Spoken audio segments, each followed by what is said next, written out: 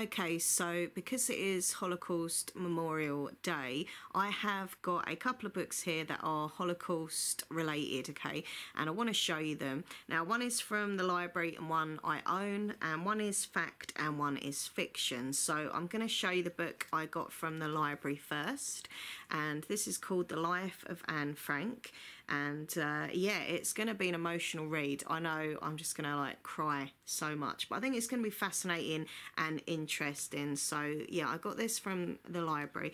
I love the photos of her. She's like such a beautiful sweet little girl. Look at those photos. Absolutely adorable. Um I'm getting emotional now. Um so i'm going to read the back of the book to you okay? So it says this is what Anne Frank confided in her diary on the 5th of April 1944. Will I ever be able to write something great? Will I ever become a journalist or writer? I hope so. Oh, I hope so very much, because writing allows me to record everything, all my thoughts, ideals, and fantasies. Her dreams were realised, but she herself was never to know that. Anne died in March 1945 in Bergen Belsen concentration camp. She was 15 years old. This book tells the story of her life and it answers the many questions that people ask. Where did Anne Frank come from? Why did she have to go into hiding? Um, what did she write in her diary? How was she portrayed? And what happened to her after she was arrested? And how did her diary survive?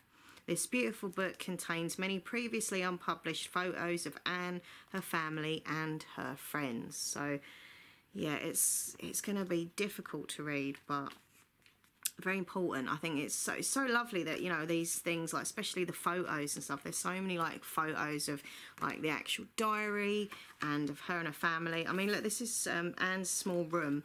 You can see like the little teddy bear sitting on the chair there, and you've got the little lamp and her bed and all the pictures on the wall. It's just amazing that they've got all these you know documentations and photos and stuff like that.